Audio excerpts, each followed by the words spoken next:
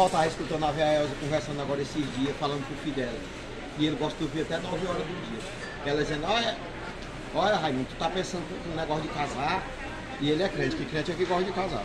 Aí, disse, olha, mulher de hoje não cozinha em carvão, não cozinha em lenha.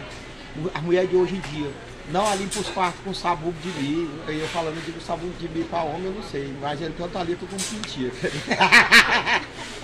e aí disse, além do papel higiênico, que hoje em dia tem que ter o papel higiênico para limpar o anel.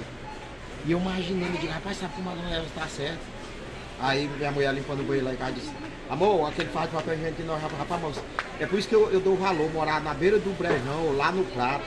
Que aí, ali tem a folha da candeia, tem a folha da fava dando, que é macio. E meu pai, que, é antigo, que chega aqui por monte, acredita?